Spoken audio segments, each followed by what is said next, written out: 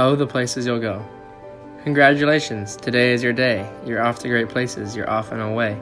You have brains in your head, you have feet in your shoes, you can steer yourself any direction you choose. You're on your own, and you know what you know, and you're the guy who decide where to go. You'll look up and down the streets, look them over with care. About some you'll say, I don't choose to go there. With your head full of brains and your shoes full of feet, you're too smart to go down any not so good street. And you may not find any you'll want to go down. In that case, of course, you'll head straight out of town. It's opener there, in the wide open air. Out there, things can happen, and frequently do, to people as brainy as you and as footsy as you. And when things start to happen, don't worry, don't stew, just go right along, you'll start happening too. Oh, the places you'll go.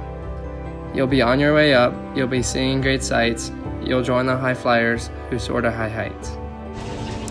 You won't lag behind because you'll have the speed, you'll pass the whole gang, and you'll soon take the lead. Wherever you fly, you'll be the best of the best. Wherever you go, you will top all the rest. Except when you don't, because sometimes you won't. You'll get mixed up, of course, as you already know. You'll get mixed up with many strange birds as you go. So be sure when you step, step with care and great tact, and remember that life's a great balancing act. Just never forget to be dexterous and deft, and never mix up your right foot with your left. And will you succeed? Yes, you will indeed. Kid, you'll move mountains. So, be your name Buxbaum or Bixby or Bray or Mordecai Ali Van Allen O'Shea. You're off to great places. Today is your day. Your mountain is waiting, so get on your way.